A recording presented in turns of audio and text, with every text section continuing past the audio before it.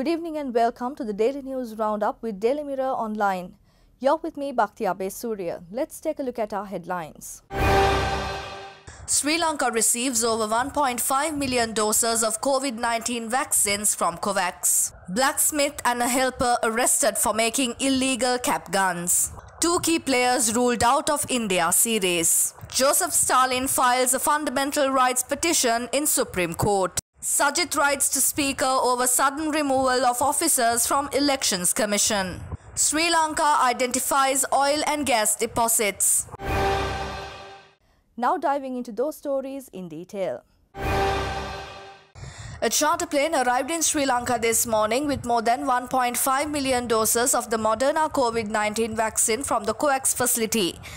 Donated by the United States, the 1,500,100 doses of the vaccine comes to Sri Lanka under the dose sharing mechanism of COVAX facility, promoting equitable access to COVID-19 vaccines across the globe. A blacksmith known as Yakabas and his assistant Chandi, who have been manufacturing illegal weapons for the past 37 years, were arrested yesterday by the Anuradhapura police. They were arrested from the Bandiweva area in Moragoda, Galenbindunuwewa with three illegally made weapons. Police arrested Yakabas with two weapons and Chandi with one. Those weapons fall under the category of cap guns, the police stated. The suspects were to be produced before the court today.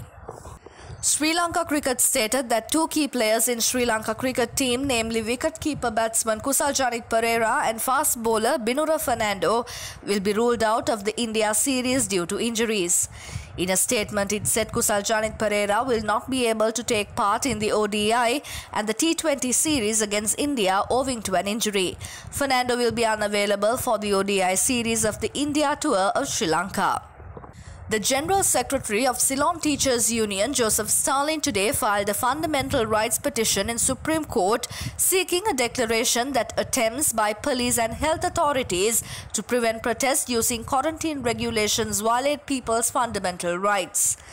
This petitioner had named IGP Chandana Wickramaratne, Director General of Health Services Asela Gunawardena, the OIC of Talangama Police, the OIC of Mirihana Police Station, Health Minister Pavithra Wanniarachchi and Attorney General as respondents.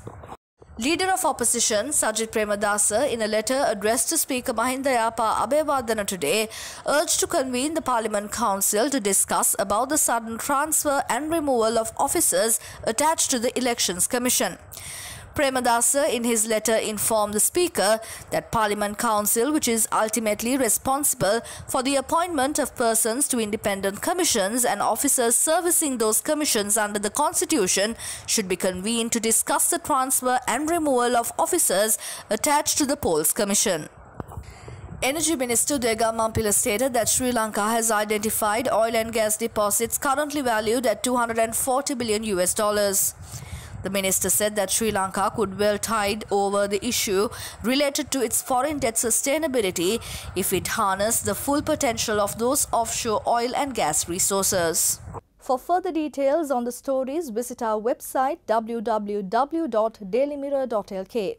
Thank you for tuning in. I'm Bhakti Abe Surya and this is the Daily News Roundup.